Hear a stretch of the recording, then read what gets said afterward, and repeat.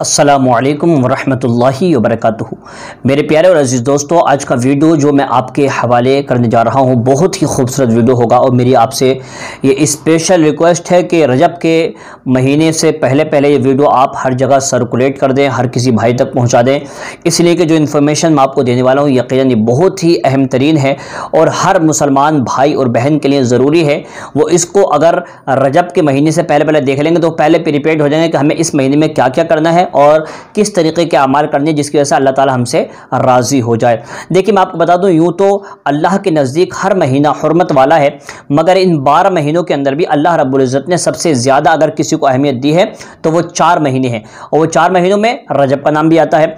और रजब का ये मामला अगर मैं बताऊँ आपको, देखिए कि रजब हुजूर की नज़र में कितना ज़्यादा इंपॉर्टेंट था। इसके बारे में बता दूँ कि हज़रत अनस इबन मालिक रज़ी तन से एक हदीस पाक मरवी है, वो फरमाते हैं कि इज़ा दखला रजब, यानी जब रजब दाखिल होता तो हुजूर सल्लल्लाहु अलैहि वसल्लम एक दुआ पढ़ते थे क्या फरमाते, अल्लाहुम्मा बारिक लना फ़ी रजब व शाबान व बल्लगना रमज़ान। यानी, ए अल्लाह तो हमारे रजब और शाबान में बरकत अता फरमा, व बल्लगना रमज़ान और हमें रमज़ान तक पहुँचा दे। मतलब ये कि हमें रमज़ान का महीना मिल जाए। इसको तबारानी ने, बेहकी ने, अबू नईम ने और हैसमी ने इसको बयान किया है। और यह हदीस पाक बिल्कुल सही हदीस पाक है। हज़रत मोहतरम यूँ तो और भी बहुत सारी यानी इसकी फजीलतें मौजूद हैं। मगर मैं आपको आज मेन फजीलत क्या है और इस महीने में रोज़ा रखने की जो सबसे बड़ी फजीलत है वो अगर सुनेंगे तो इन आपका ईमान ताज़ा हो जाएगा। देखिए, हम हम बात करते हैं हज़रत सैदना अबू हुररा रदी अल्लाह हैं, जो कोई सत्ताईसवीं रजब का, सत्ताईसवीं रजब को याद रख लें, पहले ही हमें प्रिपेयर होना है, जो कोई सत्ताईस रजब का रोज़ा रखे, अल्लाह तबारक वाली उसके लिए साठ महीने के रोज़ों का सवाब लिखेगा। ये फ़ज़ाइल शहर रजब लिल खलाल सफ़ा नंबर दस पर लिखा हुआ है। इसके अलावा देखिए, मैं आपको एक और फजीलत इसकी बता दूँ तो इन आपको बड़ा मज़ा आएगा और आप इस पर अमल पैरा होने की कोशिश ज़रूर करेंगे। देखिए, सौ साल के रोज़े का सवाब, आप हैरान हो जाएँगे, सौ साल के रोज़े का सवाब कैसे मिल सकता है? मगर ये मुमकिन है। अल्लाह तबारक वाली इरशाद फरमाता है वरहमती वसियात कुल्ला शई मेरी रहमत हर चीज़ को घेरे हुए है। मतलब ये कि सारी दुनिया छोटी है, कायनात की हर शय छोटी है, लेकिन अल्लाह की रहमत सबसे ज़्यादा वसी अरीज़ है, अल्लाह की रहमत जो है, वो कभी भी कम नहीं होती। ज़माना गुजर जाता है, ज़माने बदलते रहते हैं, मगर अल्लाह की रहमत में कोई भी कमी नहीं आती। लेने वाले कम है, लेकिन अल्लाह तबारक वाली अपना फजल और अपना करम देने के लिए उसके करम में कभी कमी नहीं आती। हज़रत मोहतरम तो उम्मीद रखें कि अल्लाह ताला आपको ये सवाब अता फरमाएगा, जो इस हदीस पाक के अंदर मौजूद है। अब आप सुन लें, सत्ताईसवीं रजबुलमरजब की आज़मतों के क्या कहने? इसी तारीख़ में हमारे प्यारे आका सल्लल्लाहु अलैहि वसल्लम को महराज शरीफ का अजीम शान मोजा अता हुआ।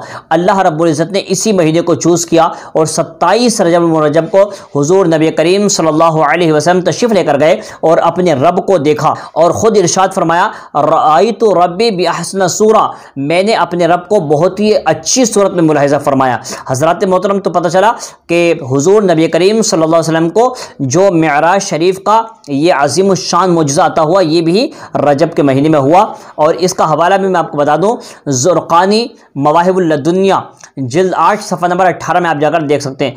जैसा कि सत्ताईसवें रजब शरीफ के रोज़े की बड़ी फजरत आई है, जैसे कि सैदना सलमान फ़ारसी रज़ी अल्लाह से मरवी है। अल्लाह अजल के प्यारे हबीब सल्लल्लाहु अलैहि का फ़रमान आलिशान है। रजब में एक दिन और रात है जो उस दिन रोज़ा रखे और रात को क़याम यानी इबादत करे तो गोया उसने सौ साल के रोज़े रखे, सौ बरस की शब बेदारी की। और ये रजब की सत्ताईसवीं तारीख़ है। शुबुल ईमान, जिल्द तीन, सफ़ा नंबर तीन सौ चौहत्तर, हदीस नंबर तीन हज़ार आठ सौ ग्यारह के अंदर ये मौजूद है। मेरे भाई, याद रखें, दिमाग में बिठा लें अपने कि मुझे रजबल मुरजब का महीने का रोज़ा नहीं छोड़ना है जो सत्ताईस तारीख आएगी और मुझे उस रात में क़्याम भी करना है जो ये काम करेगा तो उसको सौ साल के रोज़े का सवाब भी मिलेगा और साथ ही साथ में उसको सौ बरस की शब बेदारी यानी रात में जागने का सवाब भी उसको मिलेगा। अल्लाह अकबर कबीरा। आगे बढ़िए आगे बढ़िए। हज़रत सैदना अब्दुल्ला बिन ज़ुबैर रज़ी अल्लाह से रिवायत है, जो माह रजब में किसी मुसलमान की परेशानी दूर करे। रजब का महीना आ रहा है। जो भी आपके आस पास पड़ोस में गरीब लोग रहते हैं, मोहताज रहते हैं, फ़कीर रहते हैं, बेबस बेबस और बेकस और मजबूर रहते हैं, मेरी आपसे रिक्वेस्ट है, मेरे भाई अपने लिए जीना कोई बड़ा कमाल नहीं है। गरीबों के लिए जियो अगर कोई फ़कीर है या कोई मजबूर है तो उसको क्या करें? आप ज़रूर भी ज़रूर क्या करें? खाने के लिए जितना हो सके दें। मेरे भाई, उनकी हेल्प करें, उनकी मदद करें तो आपको बहुत बड़ा सवाब मिलेगा। रजब के महीने के अंदर सुन लें। फरमाते हैं, जो माह रजब में किसी मुसलमान की परेशानी दूर करें तो अल्लाह अजल उसको जन्नत में एक ऐसा महल अता फरमाएगा, जो हद नज़र तक वसी होगा। मतलब जहाँ तक वो देखेगा, वहाँ तक उसको अपना महल नज़र आएगा और उसकी ख़त्म हो जाएगी, मगर जो महल की वसात है वो ख़त्म नहीं होगी। तो कहते हैं कि तुम रजब का इकराम करो मतलब यह कि तुम उसकी तकरीम करो। अल्लाह तबारक वाली तुम्हारा हज़ार जो है करामतों के साथ इकराम फरमाएगा। ये रिवायत भी गनीत तालबीन जल्द अव्वल और सफ़ा नंबर 324 के अंदर मौजूद है मेरे भाई। आगे सुन लें। सत्ताईसवीं शब के बारह नवाफिल, इसको भी अपने जहन में रख लेगा और बिल्कुल भी ना भूलिएगा। रजब में एक रात है कि उसमें नेक अमल करने वाले को सौ बरस की नेकों का सवाब है और वो रजब की सत्ताईसवीं शब है, जो इसमें बारह रकात इस तरह पढ़े कि हर रकात में सूरतुल्फातिहा और कोई सी एक सूरत और हर दो रकात पर तहियात पढ़े और बारह पूरे होने पर सलाम फेरे। मतलब यह कि एक ही सलाम से बारह नमा, बारह रकात पढ़े। तो कहते हैं, जब बारह पूरी हो जाए तो सलाम फेरे। उसके बाद सौ मरतबा ये पढ़े सुबहान वलहमदिल्ला वला अकबर। ये पढ़े इस्तफ़ार जो है सौ बार पढ़े दुरु शरीफ बार पढ़े, और कहते हैं, और अपनी दुनिया और आखिरत से जिस चीज़ की चाहे दुआ मांगे और सुबह को रोज़ा रखे तो अल्लाह अज्जल उसकी सब दुआएँ कबूल फरमाएगा, सिवाय उस दुआ के जो गुनाह के लिए ना हो। शुबुल ईमान जिल्द तीन सफ़ा नंबर तीन सौ चौहत्तर, हदीस नंबर तीन हज़ार आठ सौ बारह पर यह लिखा हुआ है। मतलब ये को अगर कोई आप गलत दुआ करेंगे तो वो दुआ कबूल नहीं होगी, लेकिन अगर कोई जायज़ दुआ करेंगे, अच्छी दुआ करेंगे तो इन जिसके हक में दुआ करेंगे, वो दुआ भी ज़रूर कबूल हो जाएगी।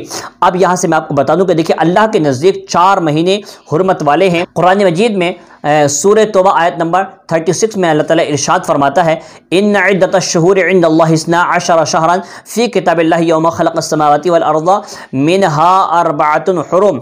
अल्लाह फरमाता है, बेशक महीनों की गिनती अल्लाह अज्जवजल के नज़दीक बारह महीने हैं। अल्लाह की किताब में जब से उसने आसमान और ज़मीन बनाए, उनमें से चार हरमत वाले हैं। यह सीधा दिन है तो इन महीनों में अपनी जान पर जुल्म ना करो और मुशरकों से हर वक्त लड़ो जैसा वो तुमसे हर वक्त लड़ते हैं। और जान लो कि अल्लाह परहेजगारों के साथ है।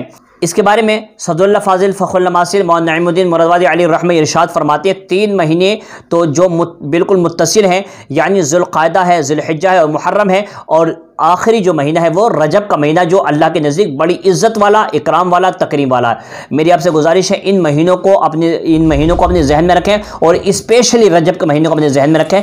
आइंदा वीडियो में इंशाल्लाह मैं रजब के कुंडों के ताल्लुक से भी इंशाल्लाह गुफ्तु करूँगा और अल्लाह तबारक वाली हमें सही तौर से पर अमल पर होने की तोफ़ी असल वरहमल वर्का